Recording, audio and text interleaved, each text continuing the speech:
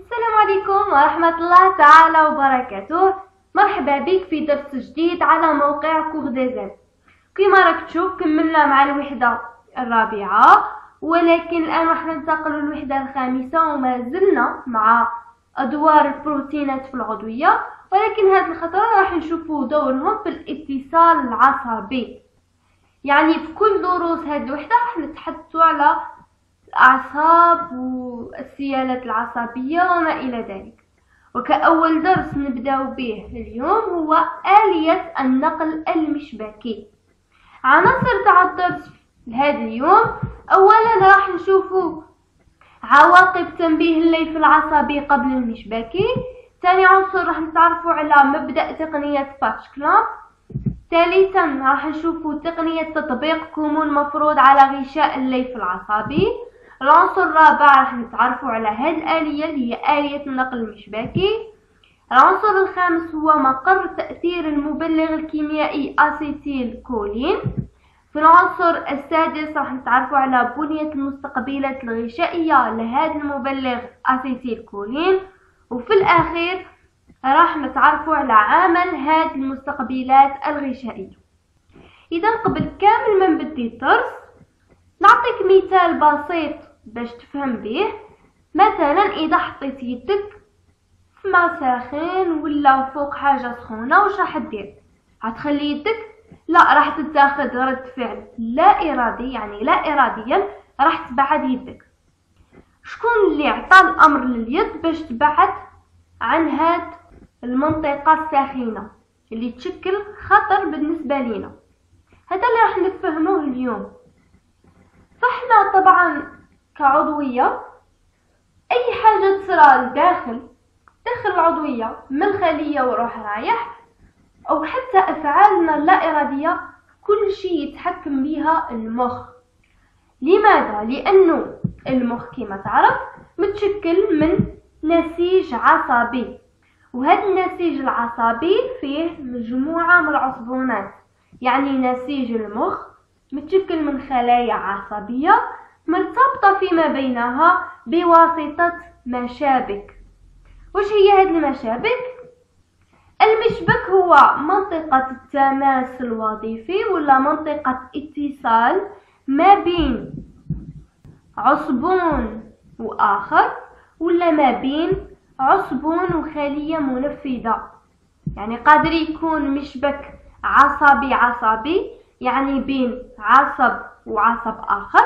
وقادر يكون عصبي عضلي مثلا ما بين عصب مع عضلة أو عصب مع خلية غدية كالغدد إذا المشبك يتشكل من ماذا؟ يتشكل من عنصر قبل مشبكي يعني خلية قبل مشبكية وعنصر بعد مشبكي ولا خلية بعد مشبكية بيناتهم كاين هذا الفراغ اللي نسميوه بالشق المشبكي. ما هو الدور تاع هذا المشبك؟ المشبك هو اللي يسمح بانتقال المعلومة من عصب إلى آخر. إذا رجعنا للمثال تاعنا أنت حطيت يدك فوق حاجة سخونة. هذا راح يرسل إشارات للمخ على أنه هذا الشيء خطير بالنسبة ليك كعضوية لأنه المخ دائما يحاول يحميك. فلما ترسل هذه المعلومة إلى المخ راح يترجمها إلى رسالات كهربائية اللي راح تنتقل ما بين خلايا المخ اللي هي العصبونات. كيفاش تنتقل؟ تنتقل من عصبون إلى آخر عن طريق هذه المشابك اللي رانا نلاحظوا فيها. لما تنتقل المعلومة من مشبك إلى آخر إلى آخر حتى توصل إلى العضو نتاعنا اللي هو اليد فالرسالة اللي راح توصل لليد هي رسالة تعرض فعل لا إرادي باش تبعد عن هذه المنطقة الساخنة هذا كمثال بسيط باش تفهم ولكن كان نجو نشوفوا الأمثلة. فأي حاجة في جسم الإنسان إلا وتأخذ أمر من هاد العصبونات. يعني أي خلية ما تقدر دير حتى حاجة حتى توصلها المعلومة من المخ بواسطة المشابك. باش نزيدو نفهمو أكثر نطرقو للدرس تاع اليوم. كأول عنصر هو عواقب تنبيه الليف العصبي قبل المشبكي يعني إذا نبهنا خلية قبل مشبكيه واش راح يصير من بعدها؟ باش نفهموا هذا الشيء روح لاحظ الوثيقة. صفحه 128 اللي هي عبارة عن تركيب تجريبي يعني تجربة لليف عصبي يعني عصب متصل بليف عضلي يعني كما راك تشوف هنايا عندنا عصبون قبل مشبكي متصل مع خلية بعد مشبكيه اللي هي في هذه الحالة عضله فالمشبك العصبي العضلي كملاحظة يشكل لنا ما يعرف باللوحة المحركة. فهنا فقط العنصر آلف يمثل مشبك عصبي عضلي هنا فقط باش تفهم. الآن واش درنا؟ أول حاجة نبهنا تنبيه فعال الليف العصبي قبل مشبكي. فهذا سمح لنا بتسجيل المنحنيين واحد واثنين. إذا ما تفسير هذه المنحنيين؟ ففي كلا المنحنيين نلاحظوا بأنه كانت ناقص 60 ميلي فولت لما نبهنا تنبيه فعال يعني قوي طلعت حتى 20 ميلي فولت ومن بعد عاود رجعت إلى ناقص 80 ثم استقرت إذا كتفسير نقول بأنه يمثل تسجيلا واحد واثنين. منحنيين كمون عمل أحادي الطول. لأنه هذا المنحنى يمثل كمون عمل. وهو عبارة عن ظاهرة كهربائية. يعني تنبيه العصب قبل المشبكي عطانا تسجيل كموني عمل زوج واحد في العصبون قبل المشبكي والآخر في الليف العضلي يعني في الخلية بعد المشبكية. وكمون عامل نسميوه أيضا موجة زوال الاستقطاب يعني موجة تاع زوال أو نهاية استقطاب. الاستقطاب هو الراحة. يعني الخلية كانت في حالة راحة لما نبهناها عطاتنا كمون عامل. فنعاود نقول بأن المنحنى الأول سجلنا على مستوى الليف العصبي قبل المشبكي بينما المنحنى الثاني فسجلناه على مستوى الليف العضلي.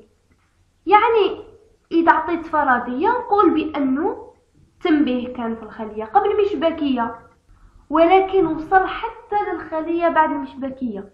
يعني كمون العامل اللي كان في الخلية قبل المشبكية تحرك وانتقل إلى الخلية البعد مشبكية هذه فقط تبقى كفرضية.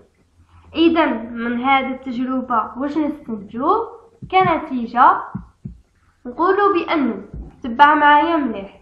تنبيه الفعال للخلية قبل مشبكية يعني كي نبه الخلية قبل مشبكية بتنبيه يكون فعال وقوي. كما في هذه الحالة. راح يؤدي إلى تعاقب ظاهرة كهربائية ثم كيميائية ثم كهربائية مرة أخرى. كيفاش؟ كي نبه تلاحظ ظهور ظاهرة كهربائية اللي هي موجة زوال الاستقطاب ولا كمون عامل. هذا الكمون عامل راح يتمشى من النقطة اللي نبهت فيها إلى غاية الزر المشبكي تاع هذا الليف قبل المشبكي. هذا هو الزر المشبكي. لأنه عندنا ليف طويل في الأخير ينتهي بزر مشبكي إذا لما نبهت في هذيك النقطة تاع الليف راح تنتقل الظاهرة الكهربائية على شكل كمون عامل على طول الليف حتى توصل إلى الزر المشبكي ثم مر هذه الظاهرة الكهربائية الأولى راح تجينا ظاهرة كيميائية كيفاش؟ ظاهرة كيميائية تتم على مستوى الشق المشبكي.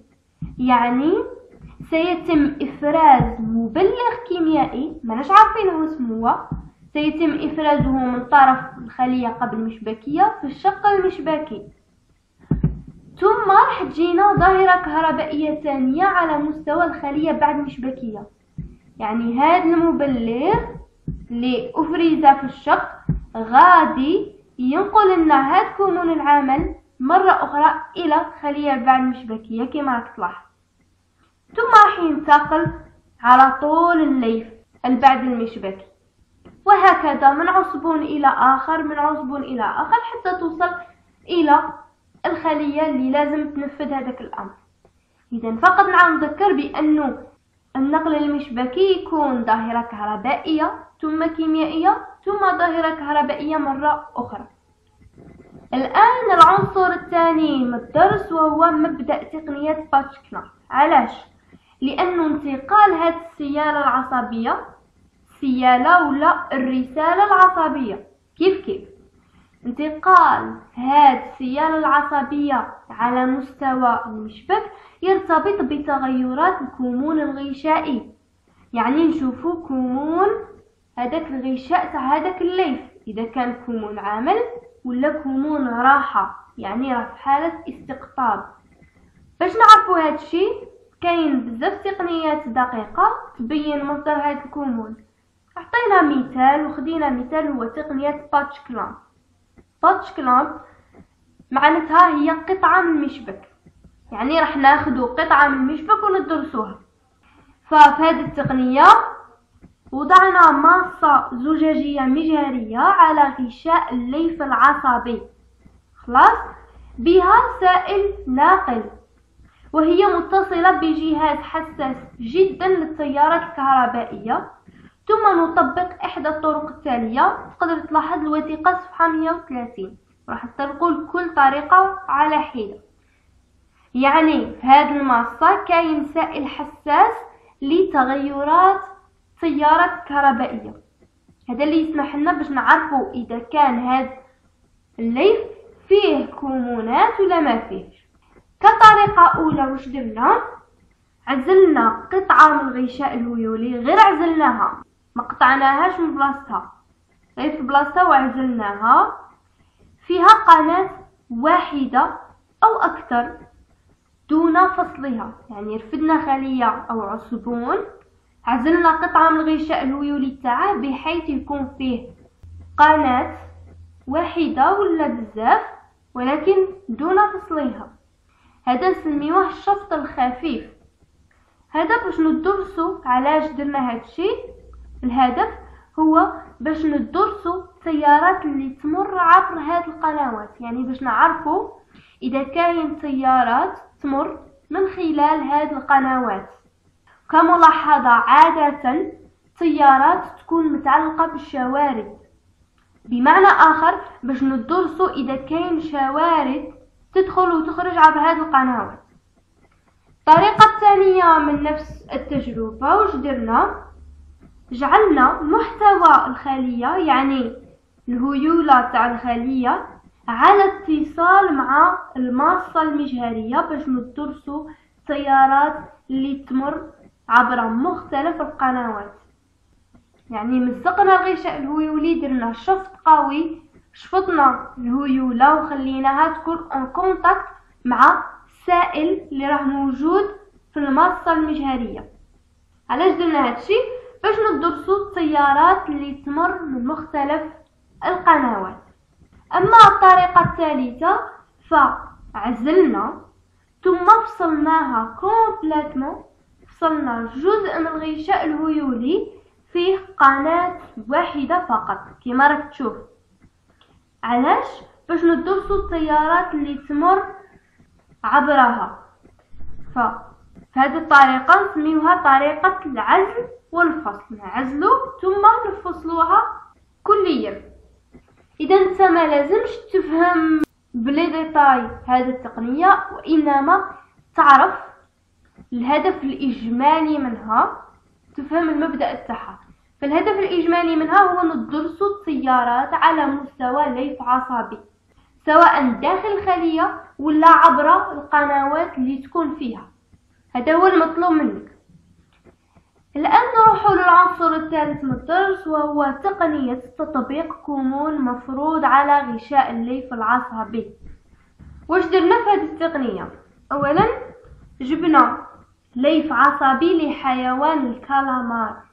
وضعنا الليف العصبي نتاعه في محلول فيزيولوجي باش ما يموتش هذاك الليف.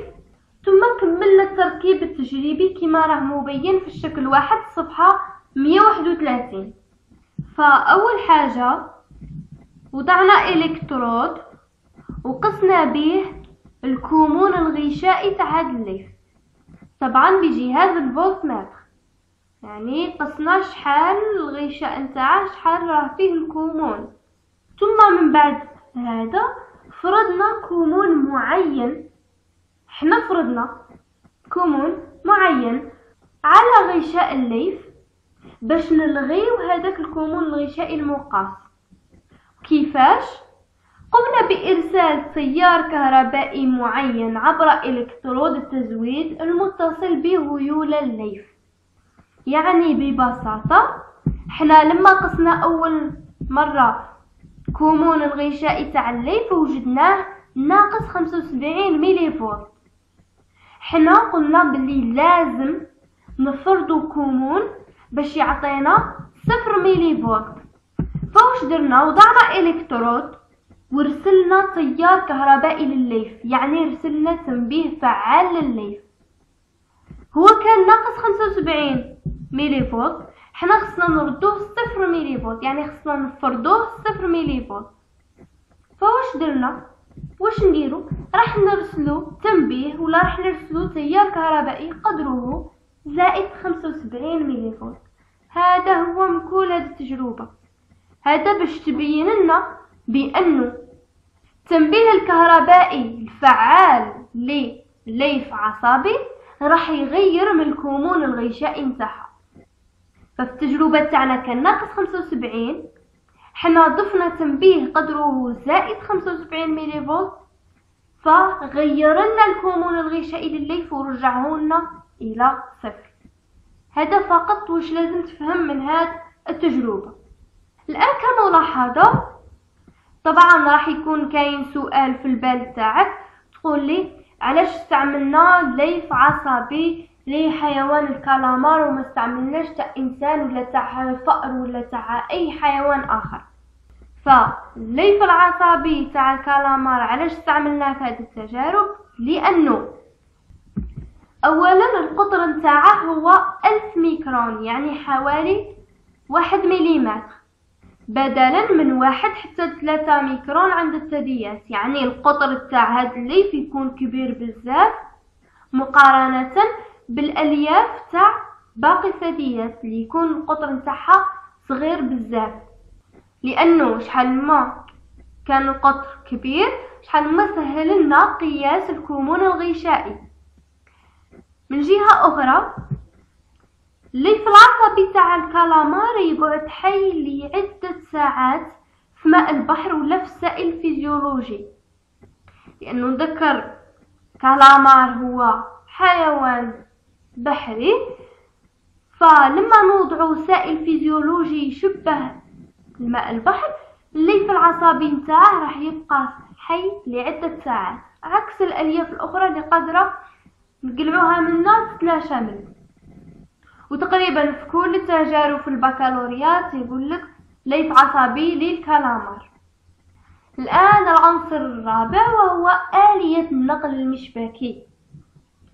ولازم تركز معايا في هذه لأنه كما كنت قلت كمون العمل أو السيالة العصبية اللي تكون على شكل موجة زوال الاستقطاب تنتقل على مستوى المشابك في اتجاه واحد من الخلية قبل المشبكية إلى الخلية بعد المشبكية جامي تلقى الرسالة العصبية تنتقل من الخلية بعد المشبكية إلى القبل المشبكية أبدا دائما من القبل المشبكية إلى البعد المشبكية بفضل ماذا؟ تكون قلنا كمون عامل كمون عامل كمون عامل لما توصل للشق المشبكي تحول إلى مبلغات كيميائية. وهذه المبلغات الكيميائية من بينها الأسيتيل كولين لازم تعقل على هذا الاسم لأنه هو المستعمل في أغلب الأوقات على مستوى المشابك وهو اللي راح نبقاو ندرسو عليه كل الدروس اللي راها جاية. إذا قولوا بأن الرسالة العصبية تكون مشفرة بتواترات كمونة العمل في العصبون قبل المشبكي ثم تتحول إلى رسالة مشفرة بتركيز المبلغ الكيميائي على مستوى الشق المشبكي. من بعد راح تتحول إلى مرة أخرى كمونات عمل على مستوى الخلية بعد المشبكية. ولكن السؤال اللي يبقى مطروح. ما هو مقر تأثير هذا المبلغ الكيميائي؟ عرفنا على مستوى الشق المشبكي. ولكن أين بالضبط؟ وما هي التغيرات الناجمة عن هذا المبلغ الكيميائي؟ هذا اللي راح نشوفوه الآن في العنصر الخامس اللي هو مقر تأثير هذا المبلغ الكيميائي أسيتيل كولين هنا نعرفه بالضبط. عرفنا باللي على مستوى الشق المشبكي ولكن أين بالضبط؟ فقمنا بتجربة. المرحلة الأولى من التجربة هو حقنا في الشق المشبكي مادة ألفا بنغاروتوكسين المشعة. وبعد مدة فحصنا هاد المنطقة يعني فحصنا منطقة الاتصال بالمجهر الإلكتروني. فتحصلنا على هذه الصورة الممثلة في الصفحة 132 المرحلة الثانية من التجربة حقنا الأسيتيل كولين في الشق المشبكي لمشبك آخر. فلاحظنا تسجيل كمون عامل بعد مشبكي. كمون عامل بعد مشبكي. المرحلة الثالثة من التجربة وهي الفاصلة. حقنا مادة ألفا بانكاروتوكسين في الشق المشبكي. ثم حقنا من بعدها الأسيتيل كولين فما سجلناش كمون عامل بعد مشبكي. ما تفسير هذه المراحل؟ المرحلة الأولى لما حقنا مادة ألفا بانكاروتوكسين المشعة في الشق المشبكي. لاحظنا تمركز الإشعاع في الغشاء بعد المشبكي هذا يدل على وجود مستقبلات غشائية في هذا الغشاء هي اللي استقبلت مادة alpha bungarotoxine وثبتتها.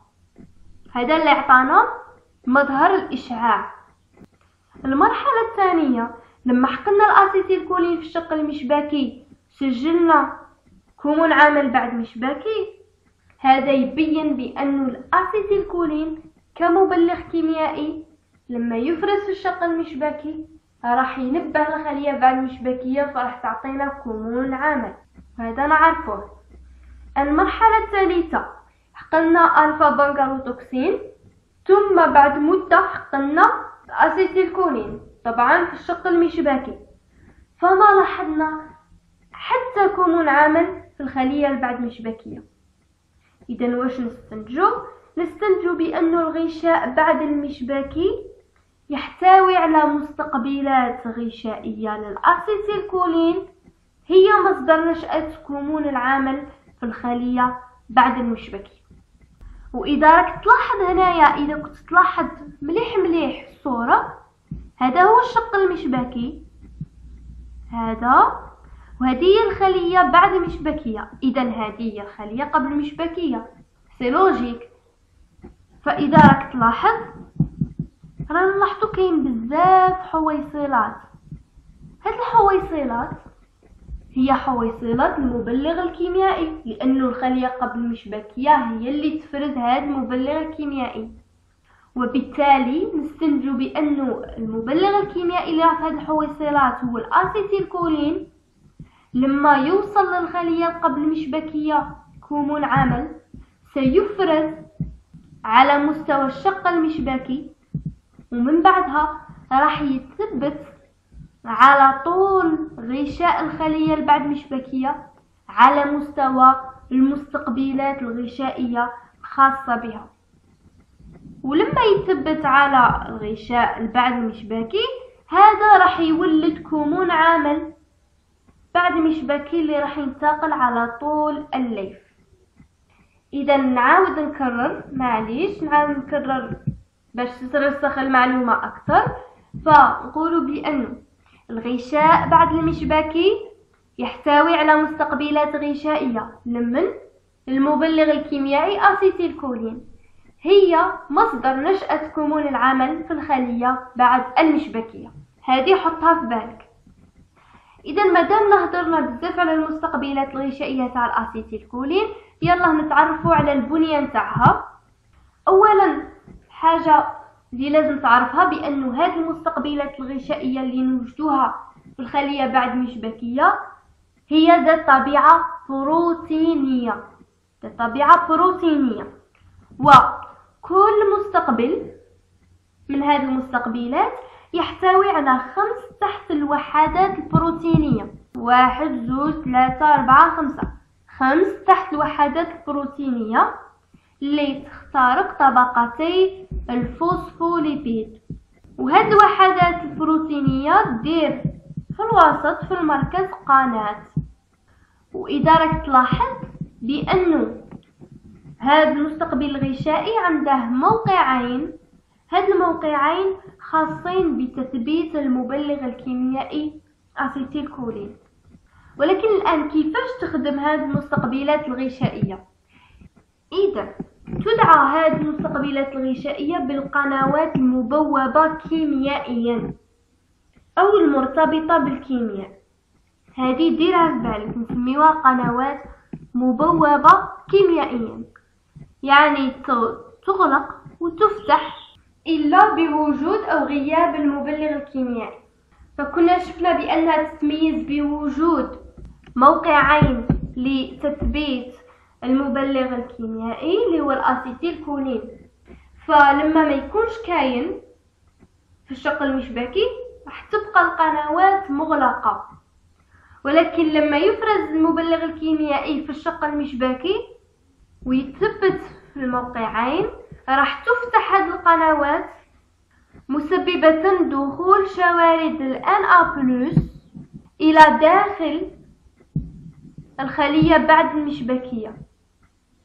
هذا الدخول تاع هاد الشوارد Na هو اللي يسبب موجة زوال الاستقطاب ولا نسميوها كمون عمل بعد مشبكي اذا هنا العنصر واحد هو الاسيتيل كولين عنصر اثنين هو موقع تثبيت الاسيتيل كولين ثلاثة يبين قناة مفتوحة. أربعة هي شق المشبكي خمسة خلية بعد مشبكية. ستة غشاء بعد مشبكي. سبعة قناة مغلقة. اذا لما ما يكونش كاين الاسيتيل كولين في الشق المشبكي راح تبقى القنوات مغلوقة لما يفرز في الشق المشبكي راح يثبت عليها. مما يسبب فتح هذه القنوات وتدخل شوارد ال Na plus من الشق المشبكي إلى داخل الخلية بعد المشبكي. إذا الآن راح نعطي لك خلاصة عامة كلية على واش يصرى كآلية نقل المشبكي. تبع معايا من اليسار إلى اليمين. اولا عندنا خلية قبل مشبكية ثم خلية بعد مشبكية. هنا حويصلات بها الاسيتيل كولين هذا شق مشبكي وهادو مستقبلات غشائية للاسيتيل كولين لما نعطيو تنبيه فعال للخلية قبل مشبكية يكون تنبيه قوي وفعال.